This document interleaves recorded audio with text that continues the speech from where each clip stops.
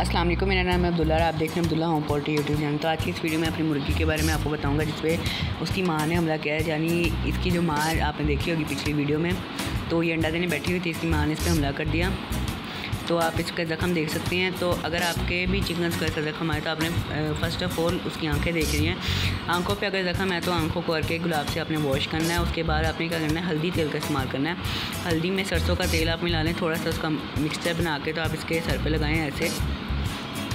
मैंने प्लेट में, क्या कहते हैं, हल्के गुलाब डाला है, उससे मैंने इसकी आँख साफ़ की है, उसके बाद मैं हल्दी तेल लगाऊँगा, वो भी आप देखें, ये देखें।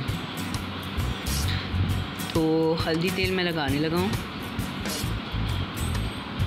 हल्दी तेल लगाने के बाद आपने क्या करना है, हल्दी तेल लगाने के बाद आपने थोड़ी देर उसको वैसे ही छोड़ देना है, फिर आपने दो टाइम हल्दी तेल लगाना है, जहाँ ज़ख़म है। फिर आपने किसी भी वेटनरी डॉक्टर को डॉक्टर से पूछ सकते हैं या आपके पास जो घर में मौजूद अद्वियात हों, जैसे पॉलीफैक्स है, जो कि सूजन के लिए लगाई जाती है तो हम इसको सूजन के लिए पॉलीफैक्स का इस्तेमाल करेंगे तो उससे क्या होगा, हमारे चिकन में बहुत जल्द बेहतरी आएगी उसकी सोजिश जो होती है, यानी जो क्या कहते हैं, सूजा होता है, ये देखें, इसकी आँख सूजी हुई है तो ये भी कम होना शुरू हो जाएगी, और कुछ ही दिनों में ये रिकवर हो जाएगी। तो इसको पहले टांके भी लगे थे तो इसके टांके भी रिकवर हो चुके हैं तो अब ये जल्द से जल्द इन रिकवर हो जाएगी। तो ये थी मैंने आपको दिखाना था कि मेरी मुर्गी को, यानी इस मुर्गी को इसकी माँ ने मारा है। ये बहुत अजीब सी बात है कि यानी एक माँ ने अपनी बेटी को मारा। बहुत से अजीब, बहुत अजीब सी बात है वैसे। लेकिन किस तरह इसको ज़ख्मी कर दिया है? तो आप देख सकते हैं किस तरह ये ज़ख्मी हो रही है। तो मैं ये वीडियो रिकॉर्ड कर रहा हूँ इसलिए क्योंकि वीडियो बंद तो गई थी, लेकिन इसमें वॉइस क्वालिटी बहुत बुरी थी। इसकी वजह से मैं ये वीडियो रिकॉर्ड कर रहा हूँ। तो इसलिए मैं आपको बता रहा हूँ, ताकि आपको समझ लगती रहे। तो गर्मी भी बहुत है, जिसकी वजह से मुर्गी को क्या कहते हैं काफ़ी मतलब कह लें कि शिदत का सामना करना पड़ता है। तो आप इसके पानी में पर्सन का यूज़ भी कर सकते हैं, किसी भी एंटीबायोटिक का।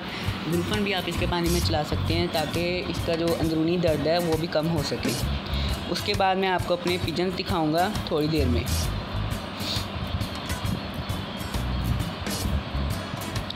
तब मैं आपको अपने पिजन दिखाता हूँ कि मेरे पिजन ने दो अंडे दे दिए ये देखिए, मार भी रही है कबूतरी। तो इसने दो अंडे भी दे दिए। ये एक अंडा है इसका।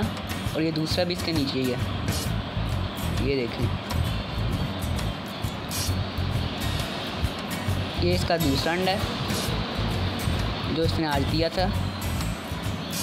तो इन पंद्रह से अठारह दिन बाद इसमें प्रोसेस बनना शुरू हो जाएगा। उसे हमें पता चल जाएगा कि इसने यानी बच्चे निकालेगी कि नहीं, अंडे अनफर्टाइल हैं कि नहीं, या फर्टाइल हैं। तो ये मैंने आपको बताना था कि मेरी मुर्गी पे अटैक हुआ है, उसकी माँ ने अटैक किया है। तो और मेरे कबूतरों ने अंडा दिया है। तो मेरी आप सबसे गुजारिश है कि मेरे चैनल को सब्सक्राइब किया करें, इसे लाइक किया करें और शेयर भी किया करें। बेल आइकन का बटन होगा और सब्सक्राइब का बटन होगा। आपने पहले सब्सक्राइब पे क्लिक करना है, फिर बेल आइकन को दबाना है, उससे मेरा आने वाला हर नोटिफिकेशन आपको मिलता रहेगा। अल्लाह हाफ़ शुक्रिया।